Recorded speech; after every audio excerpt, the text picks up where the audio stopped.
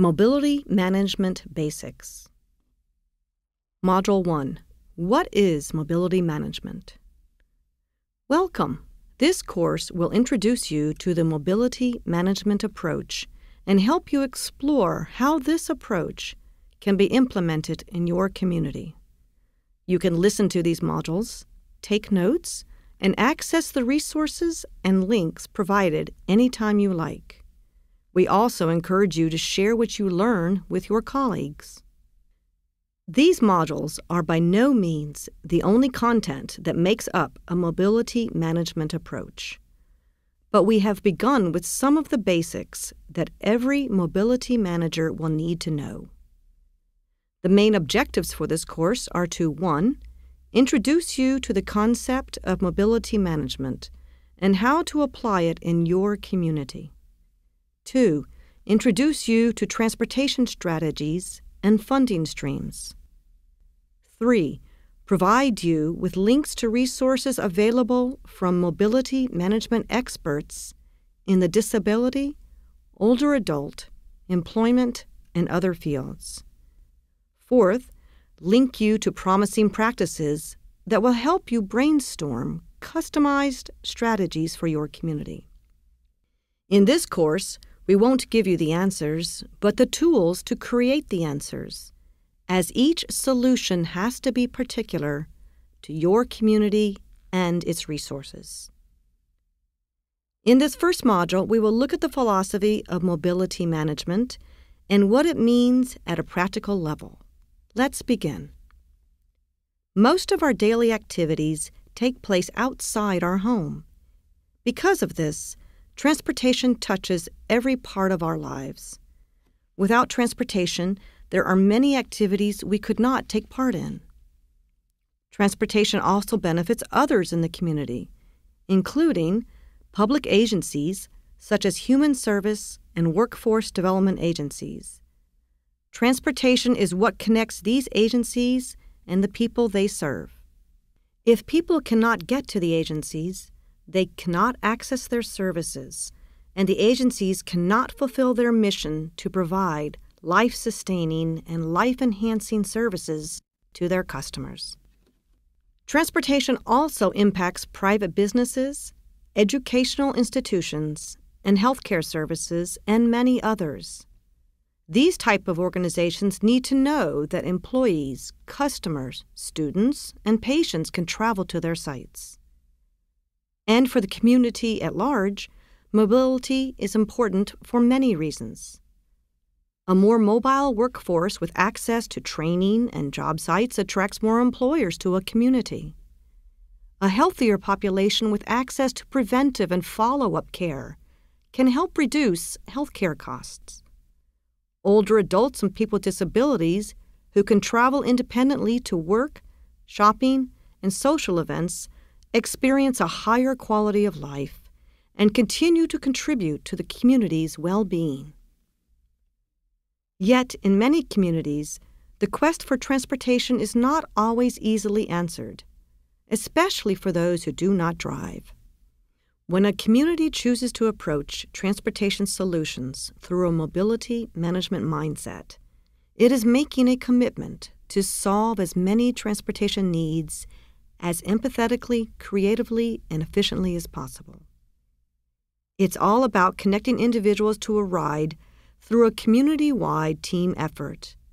This mobility management concept has been around for several years but has emerged more prominently in the last decade or so. How were transportation solutions approached before mobility management? Historically, transportation providers' jobs, whether buses, taxis, even volunteer transportation, have been easier than they are today. Communities were smaller, there was less sprawl, people's transportation needs were more predictable. In this era, operational concerns were of prime strategic importance, and customer concerns were largely subordinated, not ignored, but subordinated to the larger mission of successfully running a system. In this context, transit measured its success by its efficiency, effectiveness in providing services, and productivity.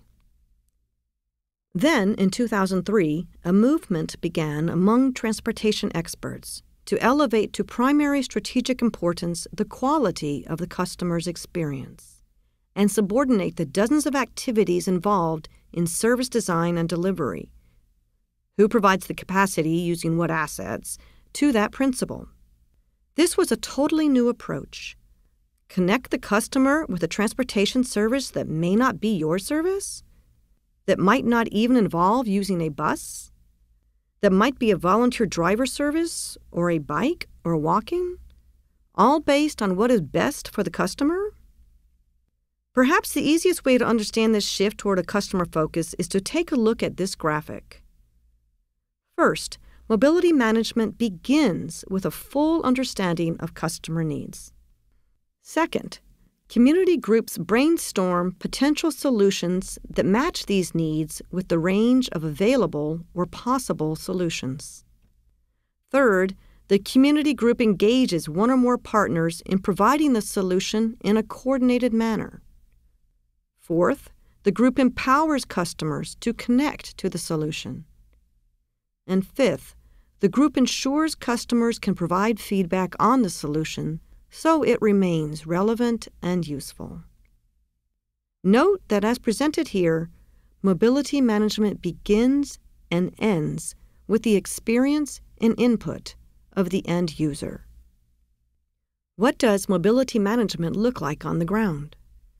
Mobility management is innovation in transportation service and coordination not doing things the usual way, because that's the way we've always done it. Mobility management is local and regional solutions to fit community needs and visions. Mobility management is assisting people facing transportation challenges, whether they're youth, people with disabilities, older adults, people with limited incomes to get where they need to go so they can live fulfilling lives in their communities. Mobility management is information and referral to assist individuals in learning about and accessing community and regional transportation services. Mobility management is a shared table of transportation providers, planners, and community stakeholders who collaborate, plan, implement, and maintain a family of transportation services. The individuals or single individual fulfilling the functions of a mobility manager is the crucial link in pulling the pieces of this puzzle of needs, resources, and community values and preferences together and connecting the dots among these in traditional and new ways. Thus, a mobility manager is at the vanguard of a community's mobility management activities. So, what does it take to be an effective mobility manager? This individual has to be able to step into several roles, depending on the activity and if they are working with an individual or a group. For example, a mobility manager will be asked to be the following a problem solver, a tireless advocate for those who need transportation, a facilitator of group discussions and problem solving groups, a teacher on content and process, a communicator who can connect people, agencies, and systems, a cheerleader who can champion the enterprising spirit of potential solution makers. What personal qualities do you think mobility managers need? To begin with, an empathetic, patient listening style, a humble approach to their partners and the individuals they serve, an ability to forge relationships with others based on common goals, the ability to allow a group to own its solution seeking process, an open mind to solutions that may not be their first thought or may not have been tried before. Are there other qualities you would add? For a mobility manager to effectively work within the community, what type of support do you think they need the most? It is clear they cannot be successful without a strong network behind them. This network will involve all agencies, organizations, and individuals who have a stake in ensuring there are mobility solutions in the community. This includes transportation planners and providers, both public and private, workforce development and educational agencies, healthcare agencies and centers, community development agencies, employers and businesses, elected officials, local foundations and nonprofit organizations, disability and older adult services organizations, data gatherers, and fiscal professionals. A community can create and adapt its own list depending on the particular priority it is addressing. But what if such a network doesn't already exist? Like creating and fostering any type of professional network, mobility management requires that a leader or a group gather around a common goal, whether that goal is efficiency, reduction of costs, adding transportation options, meeting the transportation needs of a particular population, reducing congestion, or other goals. As a mobility manager, you can begin to develop this network by reaching out to organizations or individuals who share this common goal. Meet with potential partners one on one to find out each organization's and individual's interests and concerns. Approach them by listening to their reality and needs. It is less effective to begin by telling them what you can do for them, as if you alone have the solutions. Again, solutions are developed together with stakeholders, not for them. Then, invite those individuals to meet as a group. The group does not have to start out with a concrete plan or a way to fund any desired initiatives. It is best to first develop relationships and establish trust. Again, listening is a good way to do this. This will take time, and one should not be discouraged if talking is all that happens at the beginning. However, balance this gradual approach with a focus soon, or your partners may not perceive the meetings worth their time. Adults are by nature problem solvers and want to get down to business.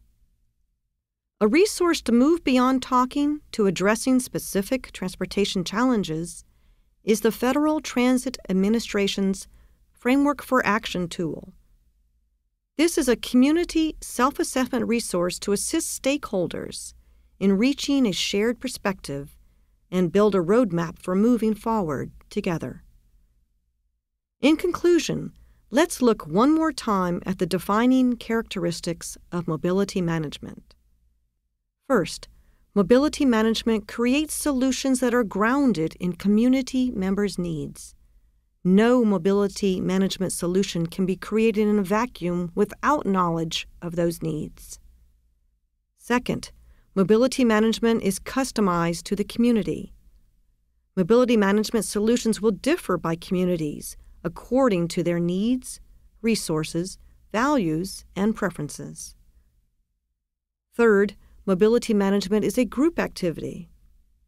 A mobility manager is the vanguard of a community's mobility management activities, but not the only participant.